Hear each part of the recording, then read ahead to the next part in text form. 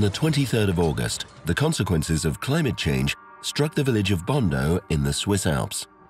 È stata una colata detritica che a ciel sereno, quel giorno era un bellissimo giorno, no? non pioveva. The rising temperatures caused by climate change are melting the permafrost in the mountains. For thousands of years, the frozen ground has stabilized these mountains. But now, the mountainsides are cracked and fractured, making disasters like the one in Bondo more likely to happen. Ma sì, la nostra vita ha cambiato nel senso che qui è tutto brutto e, e, ci sono tante case che vengono distrutte, la gente non è più qua, tante cose non sono come prima.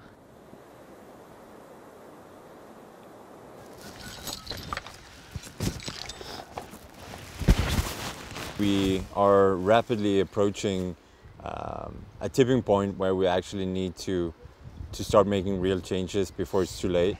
Over the next three months, the two climbers, Peter Sandal and Danny Ullman, will attempt to climb the 82 highest summits in the Alps to raise awareness for climate change. Well, I think it's important for us to care so we can have a decent world to live in for the coming generations too. Climate change is going to affect a whole bunch of different aspects of human life.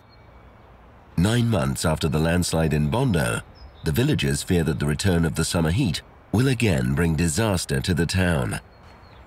La gente non ha ancora, uh, non ha ancora diciamo, superato la, la, la, paura e lo shock del, de, di quel giorno, perché uh, c'è, l'incertezza, c'è l'insicurezza, non si sa cosa uh, potrebbe anco, ancora succedere. No?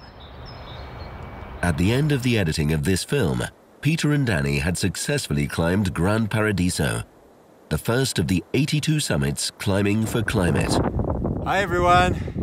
So, Saturday, 5th of May, it's around noon, and we are at 4,061 meters, the summit of Gran Paradiso.